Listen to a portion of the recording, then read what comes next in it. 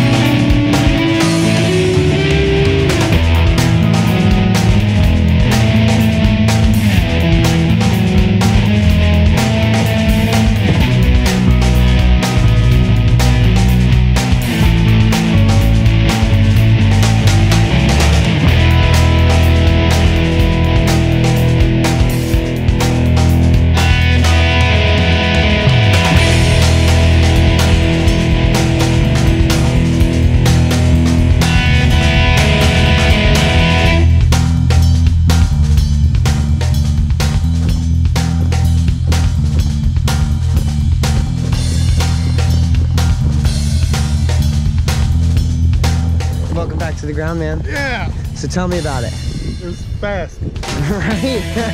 So fast. awesome. Do you think you'll ever do it again? I hope so. Awesome, man. Well, thanks for jumping skydiving. You did awesome.